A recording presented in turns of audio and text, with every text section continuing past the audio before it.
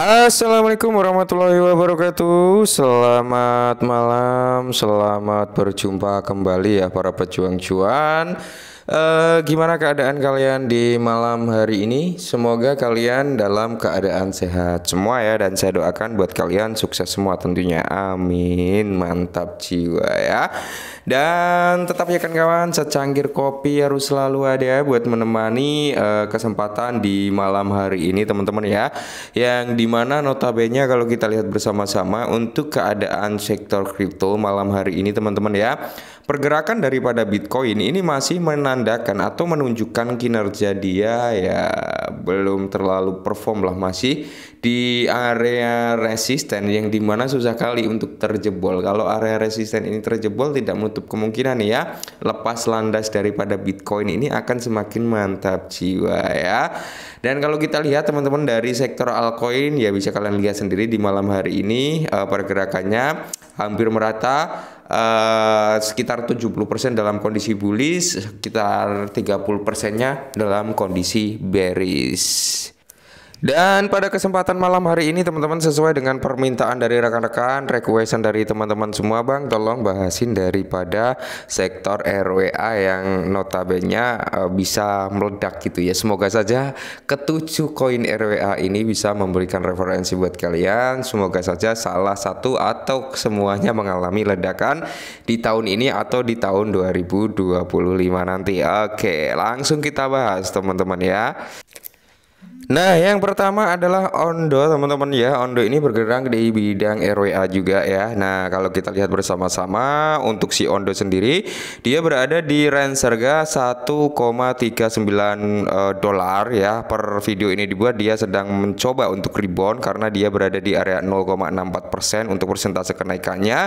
Dan kalau kita lihat bersama-sama teman-teman ya, bisa kalian lihat sendiri lah ya dari uh, maksimal supply, total supply, circulating supply kalian bisa lihat sendiri di sini dia berbasis di Ethereum. Nah, menariknya dari Ondo ini yang perlu kita ketahui bersama-sama adalah di mana Ondo Finance ini teman-teman ya adalah salah satu platform yang bertujuan nih untuk menyediakan produk dan layanan keuangan berkelas ya yang di mana institusi eh, kepada semua orang dengan menggunakan teknologi blockchain. Oke ya ini Ondo teman-teman ya. Di mana Ondo Finance ini ya kan berupaya meningkatkan infrastruktur dan akses terhadap produk dan layanan keuangan. Nah, jadi di sini tetap ada plus minusnya teman-teman ya. Jadi kelebihan daripada si Ondo ini, ini ada tujuh altcoin teman-teman ya. Kelebihan daripada Ondo ini di mana akses produk keuangan institusional ya kan? Ondo Finance menyediakan nih produk keuangan berkualitas institusi, apa institusional uh, kepada publik yang mungkin akses yang lebih luas ya. Ini uh, kelebihan daripada si Ondo transparansi dan keamanannya dan keputusan hukum dan regulasi daripada uh, si Ondo Finance ini teman-teman. Nah lantas kekurangannya apa? Kekurangannya adalah komplektivitas pengguna ya. Terus ada ketergantungan pada ada mitra institusional. Terus di sini proses penembusan yang bervariasi juga. Nah, itu adalah kekurangan daripada si Ondo. Cuman kalau kita mengacu kayaknya si Ondo ini backingan daripada si BlackRock gitu teman-teman ya. Nah, yang berikutnya ada mantra atau om ya teman-teman yang di mana kalau kita lihat dari segi market mantra ya, market mantra ini dia udah ada di Binance ya, OKE, Cat.io, teman-teman KuCoin ya, Binance DR ya, Bing Egg, Bitmart, mungkin Kraken ini belum ada ya, Kraken, Coinbase, Robinhood. Nah, semoga saja dalam waktu dekat bisa masuk ke situ gitu teman-teman ya. Nah, kalau kita melihat daripada si uh, overview-nya untuk total supply teman-teman total supply itu ada di area 709 eh, total supply-nya berapa ini 800 uh, maksimal supply itu ya. Total supply-nya ada di kisaran 793,99 ohm teman-teman ya. Maksimal supply-nya ya di bawah 1 billion ya. Di bawah 1 miliar. Yang notabene ini cukup menarik. Mungkin kalau ke harga 1 dolar is oke okay. ya lebih juga oke okay lah ya. Nah, jadi uh, mantra ini teman-teman ya Mantra ini adalah platform blockchain yang di mana dirancang dalam ekosistem Cosmos dengan apa menyediakan kepat apa kepatuhan regulasi untuk berbagai RWA juga ya. Nah, jadi di sini teman-teman kalau kita lihat bersama-sama ya, di mana uh, uh, aset ini dengan manfaat Cosmos SDK ya, Mantra Chain ini menawarkan infrastruktur blockchain yang memungkinkan pengembang aplikasi Web3 yang berfokus pada kepatuhan regulasi. Nah, di sini juga ada kelebihan dan kekurangan dari si Om ini atau mantra ini ya, teman-teman ya. Kelebihan daripada si mantra ini ya kepatuhan terhadap regulasinya ya. Yang kedua adalah interoperabilitas, yang ketiga adalah sistem identitas desentralisasi atau DID, teman-teman ya. Yang di mana DID ini dengan penerapan DID ini pengguna dapat melakukan onboarding secara perm apa meningkatkan keamanan dan mengurangi resiko. Nah, tentunya di setiap kelebihan ada kekurangan. Komplektivitas regulasi ya, itu adalah kekurangan daripada si mantra ini ya, ketergantungan pada infrastruktur komos, terus di sini adopsi pengguna baru, teman-teman ya. Nah, ini adalah uh, plus minus daripada si mantra. Nah berikutnya adalah Centrifuge atau CFG teman-teman harganya masih di bawah satu dolar juga lebih murah daripada si mantra tadi ya teman-teman ya untuk saat ini dia sedang recover ya lumayan gitu teman-teman. Nah jadi untuk CF apa CFG ini kalau kita lihat dari marketnya teman-teman ya kalau kita lihat dari market dia belum masuk ke dalam platformnya Binance, Coinbase, Robinhood belum ya kalau Kraken ini udah ya. Semoga dalam waktu dekat dia bisa masuk ke dalam exchange yang kita sebutkan tadi teman-teman. Oke Oke, jadi kalau untuk si uh, eh, CFG ini teman-teman ya tentunya ada plus minusnya juga layaknya kayak Ondo dan Mantra. Nah, jadi Centrifuge ya dikira apa didirikan ini pada tahun 2017 ya teman-teman ya untuk token ini didirikan pada tahun 2017 dengan misi untuk apa? Mengatasi ketidak efisiensi dalam sistem keuangan dengan teknologi blockchain. Nah, awal platform ini teman-teman ya dibangun di Ethereum dengan nama Tinlag dan kali ini udah menjadi apa rebranding menjadi Centrifuge ya teman-teman ya. Nah, ini juga bergerak di bidang RWA. Kelebihan daripada token ini adalah akses global ya.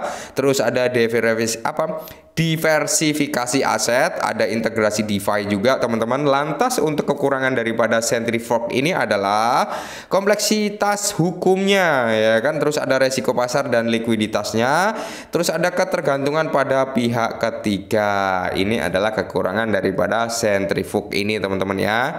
Nah yang berikutnya ada pendel teman-teman yang di mana pendel ini udah harganya sekitar 5,96 eh, dolar teman-teman yang notabene lebih tinggi dibanding seperti apa token-token sebelumnya gitu teman-teman. Ya dan kalian bisa melihat sendiri untuk maksimal supply ya total supply circulating supply-nya. Untuk maksimal supply-nya belum terupdate ya circulating supply udah terupdate. Nah pendel ini teman-teman ya pendel ini kalau kita lihat bersama-sama ya di sini harganya kan sekitar 5,96 nah pendel ini adalah protokol perdagangan hasil Permanage atau permissional di mana pengguna dapat menjalankan berbagai strategis manajemen hasil atau yield ya pendel memungkinkan pengguna ini untuk apa? Memaksimalkan hasil mereka dengan meningkatkan exposure hasil di pasar ya, di pasar bullish tentunya dan melindungi diri dari penurunan hasil selama pasar bearish. Oke.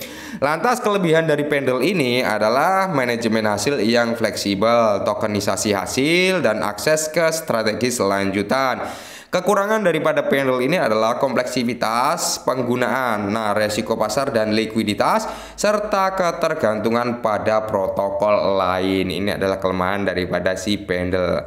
Nah berikutnya ada si Cipol teman-teman. Cipol ini harganya di area 0,2156 ya teman-teman ini juga token RWA ya kalau kalian ketahui.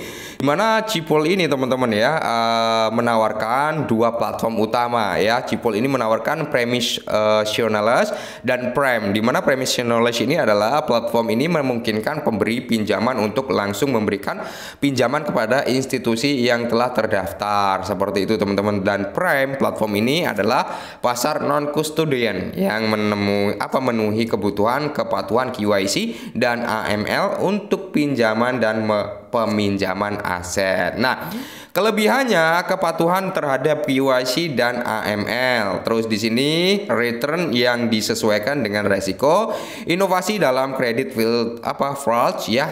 Dan kekurangan daripada Cipul ini adalah di mana kompleksitas, kepatuhan, nah resiko pinjaman tanpa jaminan dan ketergantungan pada Oracle teman-teman ya. Mantap jiwa.